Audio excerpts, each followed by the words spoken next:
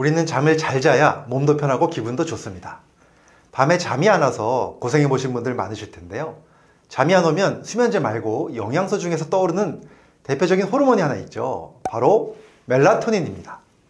한국에서는 멜라토닌이 전문 의약품으로 처방이 있어야만 구매가 가능하고요.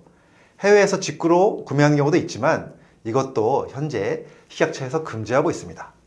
그런데 최근에 식물에서 추출한 식물성 멜라토닌 성분 함유 제품이 식약처 허가를 받아서 일반 건강식품으로 판매가 되고 있습니다.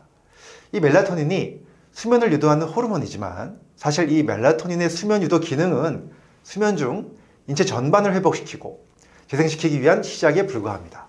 그래서 오늘은 이 멜라토닌이 수면 중에 체내 전반에서 어떤 기능을 하는지 작용 기전을 짚어보도록 하겠습니다. 오늘 영상 끝까지 봐주시고요. 도움이 되셨다면 좋아요, 구독, 알림 설정해 주시면 감사하겠습니다.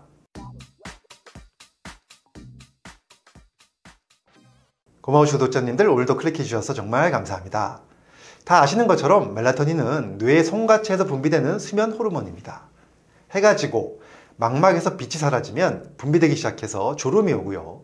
해가 뜨면 망막을 자극해서 분비가 억제되고 잠에서 깨게 됩니다. 그래서 멜라토닌의 분비가 적어지면 당연히 수면이 어려워지고 수면 양도 줄어드는데요. 이 멜라토닌의 분비가 줄어드는 원인이 바로 빛과 노화입니다. 그래서 저녁 시간에는 가능한 밝은 빛을 피하고 자기 전에는 핸드폰을 멀리하는 것이 중요합니다.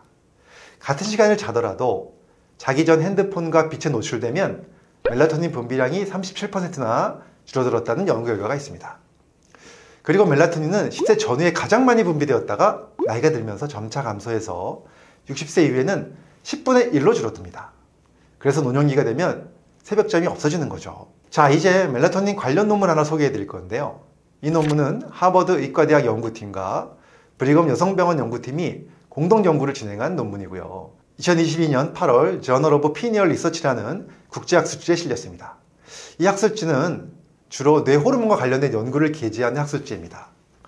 55세 이상의 건강한 성인을 대상으로 2주간 위약을 투여한 그룹과 멜라토닌을 투여한 그룹으로 나누어서 수면에 어떤 영향을 미치는지 조사해 보았는데요. 결론적으로 멜라토닌을 투여한 그룹에서는 대조군에 비해서 비렘 수면 시간이 약 30분 정도 증가하였습니다. 또 총 수면 시간도 약 36분 정도 증가하였습니다. 멜라토닌과 수면과의 임상시험을 한 많은 연구들은 이처럼 좋은 결과로 이어지는 것들이 대부분입니다. 그래서 수면장애가 있으신 분들 중 멜라토닌을 드시는 분들이 참 많으신데요.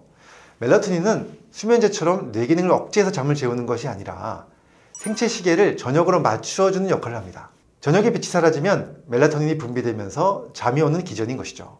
그리고 불면증의 원인이 다른 곳에 있는 분들은 효과가 없을 수도 있지만 효과가 있든 없든 수면장애가 있으면 멜라토닌이 부족한 상태이기 때문에 멜라토닌을 보충해 주시면 여러 가지 도움이 됩니다. 그 이유를 지금부터 말씀드리겠습니다. 일단 멜라토닌은 강력한 항산화제입니다. 멜라토닌의 항산화력은 매우 뛰어난데요. 그 이유는 멜라토닌이 활성산소를 제거하는 과정에서 멜라토닌의 대사 산물들이 연속적으로 그 과정을 도와줍니다. 이러한 과정을 멜라토닌 cascade라고 부르는데요. 이러한 특별한 기전 덕분에 매우 강력한 것이죠. 그래서 항산화제로서 멜라토닌은 비타민 E보다 10배 더 강력하고 비타민 C보다 13배 더 강력하다는 보고도 있습니다. 이제 다음 논문은 멜라토닌이 알츠하이머 치매나 파킨슨병과 같은 뇌질환과 직결되는 내용입니다. 멜라토닌 신경퇴행에서 임상적 관점이란 주제의 이 논문은 2019년 Frontiers in Endocrinology라는 내분비학 국제학술지에 실린 논문입니다. 그동안 발표되었던 멜라토닌과 뇌 건강에 관련된 수많은 연구들 종합해서 발표한 리뷰 논문인데요.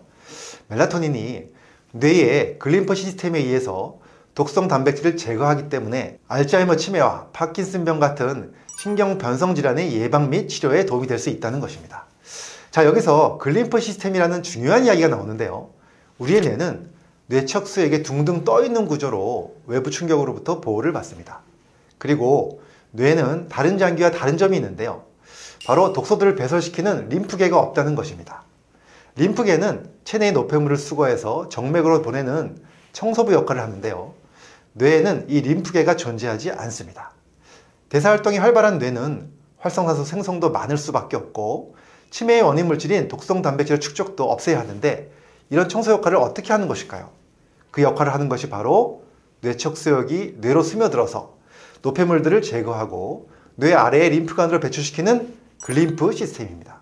그런데 정말 놀라운 것은 바로 이 글림프 시스템은 잠을 잘 때만 작동을 한다는 것입니다. 낮에 깨어 있는 동안 쌓인 노폐물을 수면 중에 이 글림프 시스템을 통해서 청소하게 되는 건데요. 이때 멜라토닌을 함유한 뇌 척수액이 작동한다는 것이죠.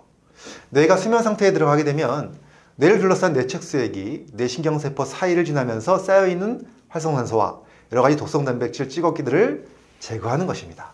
그래서 뇌척수액에 있는 멜라토닌은 뇌의 청소 시간을 증가시키면서 뇌의 기능을 보호하게 됩니다. 정말 아주 놀라운 역할을 하는 것이죠. 또 이 논문을 보면 마우스 모델에서 왼쪽은 림프관에서 배출된 베타 아멜로이드의 양을 나타낸 그래프이고요. 고농도 멜라토닌 섭취군에서 림프관 내 베타 아멜로이드의 배출량이 300% 이상 증가되었고요. 오른쪽은 뇌에 남아있는 베타 아멜로이드로 멜라토닌 섭취 시 거의 반으로 감소되었습니다. 그리고 이 논문에서는 총 19,704명의 알츠하이머 환자를 대상으로 한 50개의 임상 연구를 비교한 결과 FDA 승인 치매 치료약들에 비해서 멜라토닌 섭취가 일부 알츠하이머 환자의 인지 기능 개선에 더 효과적이라는 것을 보여줍니다. 멜라토닌의 이런 좋은 기능들은 구글 학술 검색을 잠깐만 해봐도 정말 많이 나오는데요. 멜라토닌은 이러한 기능 이외에도 너무나 다양한 기능을 가지고 있습니다. 학술 검색을 해보면 멜라토닌 관련 논문이 70만 건 이상인데요. 암 관련 논문이 20만 건 이상이고요.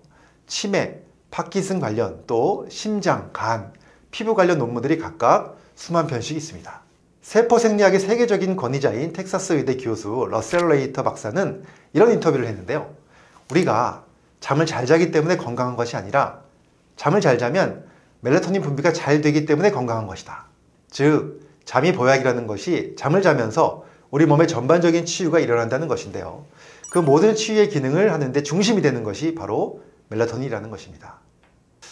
자, 오늘은 제가 멜라토닌에 대한 말씀을 드렸는데요. 사실 너무 많은 연구들이 있어서 암, 황노화 등 여러 가지 내용은 추후 편을 제작해서 또 말씀드리겠습니다.